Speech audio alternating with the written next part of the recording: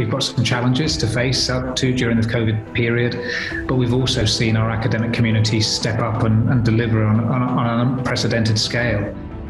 It's, in a sense, the biggest social upheaval in 75 years it was a surprise to suddenly find ourselves not delivering the kind of higher education experience and the kind of working environment that we were used to with colleagues. We were forced to, to work from home.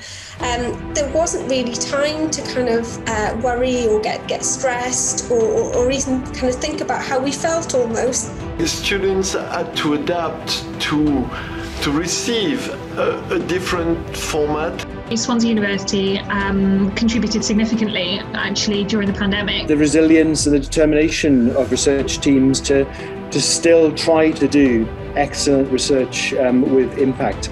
Our medical students almost immediately started emailing to volunteer their help.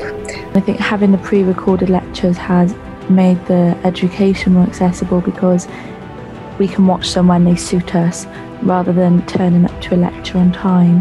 There's a lot for us to think about in relation to what some do call this new normal way of working. Um, but I'm convinced that many will uh, enjoy being able to carry on with some of the flexibility that we've seen over this period. Many are left wondering what the future of education will look like.